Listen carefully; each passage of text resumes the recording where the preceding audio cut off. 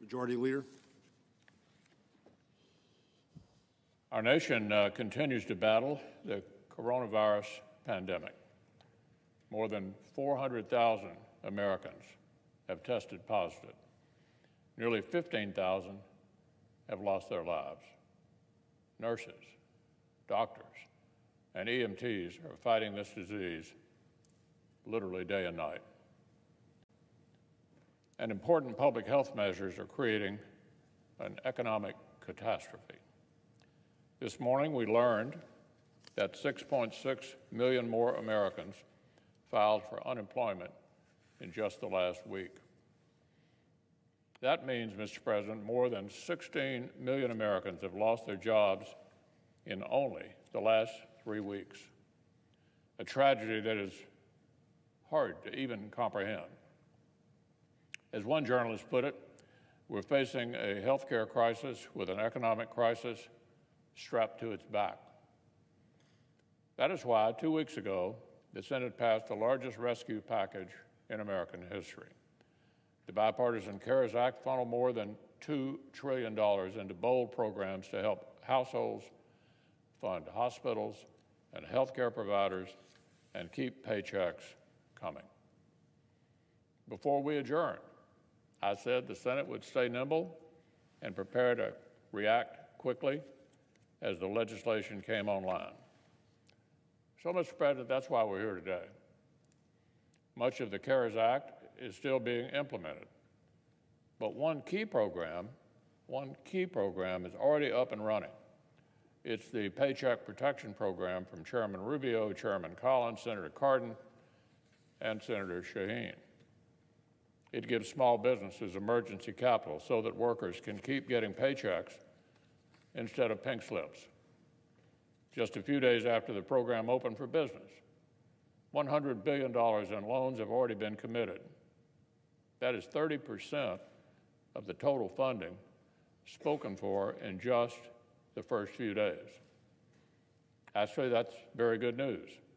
It means this job saving program is attractive to small business. Employers can access it. But it also means we need more funding and we need it fast. Soon I will ask unanimous consent to increase the funding for the Paycheck Protection Program to a new total of $600 billion. I'm not talking about changing any policy language that both sides have already negotiated together several weeks ago. I'm literally talking about deleting the number 350 and writing 600 in its place. Let me say that again. We're not talking about making any policy changes. We're literally changing the number 350 to 600. That's all this we're suggesting here today. That, by definition, is a clean bill. I want to add more money to the only part of our bipartisan bill that is currently at risk of running out of money. So I was surprised to see this simple proposal met uneasily by the Democratic leadership. The distinguished Democratic leader and the Speaker of the House sought to use this crucial program to open broader negotiations on other topics, including parts of the CARES Act where literally, listen to this, Mr. President, literally no money's gone out the door yet. No money has gone out the door yet.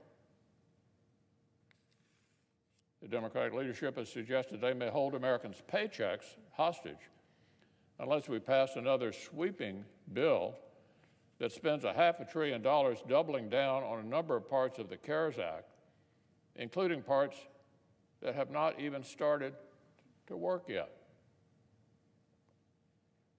The country cannot afford unnecessary wrangling or political maneuvering. Treating this as a normal, bipart- a normal kind of partisan negotiation could literally cost Americans their jobs. We're in a situation right now where passing a bill means either unanimous consent or a voice vote. Everyone knows, everyone, there is zero chance that the sprawling proposal that our Democratic friends have gestured towards could pass either chamber by unanimous consent this week. No chance. And the president's already indicated he would not sign it. Country needs us to be nimble, nimble, to fix urgent problems as fast as we can, to be able to have focused discussions on urgent subjects without turning every conversation into a conversation about everything, without turning every conversation into a conversation about everything. We need to patch holes as we see them and keep moving forward together. Everybody in the Senate voted to send historic funding to hospitals and healthcare providers. Everyone supports funding hospitals. I'm in favor of even more funding for hospitals and providers down the line. I've been talking to a number of them, as I'm sure our colleagues have, over the last couple of weeks. But certainly we need to see the fixing, the existing funding begin to work before we know what additional resources may be needed. I've been urging Secretary Azar to push this money onto the front lines as soon as possible. I'm glad tens of billions are going to go out tomorrow.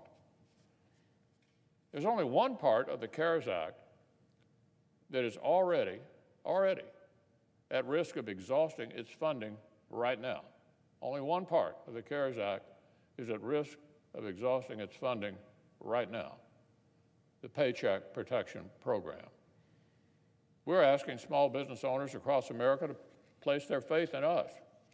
We're asking them to keep workers on payroll because Congress, the Treasury, and the SBA will have their back. We must not fail them. My colleagues must not treat working Americans as political hostages. This does not have to be, nor should it be, contentious. We don't have to divide along the usual lines so soon after we came together for the country. To my Democratic colleagues, please, please, do not block emergency aid you do not even oppose just because you want something more. Do not block emergency aid you do not oppose just because you want something more. Nobody believes this is the Senate's last word on COVID 19. We don't have to do everything right now. In fact, our posture of needing unanimous consent does not even permit us to try to do everything right now. We cannot play games with this crisis. Let's pass more non controversial funding for Americans' paychecks. Let's do it today. And then let's continue to work together with speed and bipartisanship. We will get through this crisis together.